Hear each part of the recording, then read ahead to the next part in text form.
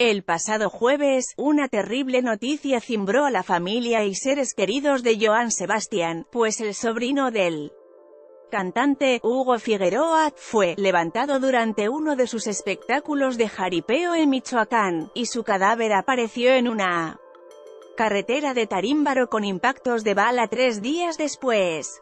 Tras el violento suceso, José Manuel Figueroa expresó su indignación por las declaraciones que algunos se atrevieron a dar respecto al secuestro y muerte de Hugo pues, según él, sabían que era algo muy peligroso y que podría desencadenar una tragedia. Lo repruebo, lo reprobé, y bueno, desgraciadamente así terminó. No culpo a nadie, pero sí es falta de ética en algún sector de la familia en el que no decidieron reservarse a dar entrevistas porque creo que es peligroso. Sin embargo, algunos otros integrantes de la famosa familia decidieron no entrar en conflictos personales tras la violenta muerte de Hugo, por lo que continuaron con su vida de manera normal, a pesar de interferir con el luto familiar. Así lo hizo Marcelia Figueroa, hija del fallecido poeta del pueblo.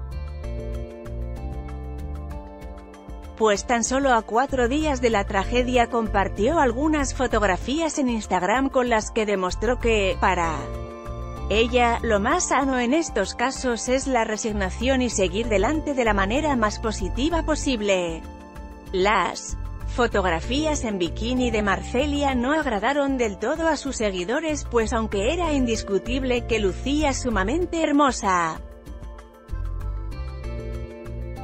no era el momento adecuado para compartirlas, pues podría prestarse a malas interpretaciones. Su candente sesión de fotos en Acapulco.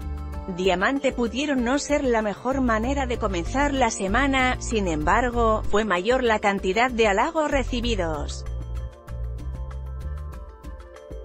E incluso, varios le pidieron más instantáneas. Con información de TV Notas y La Neta Noticias anímate a comentar. Queremos saber tu opinión, comentarios Powered by Facebook Comments.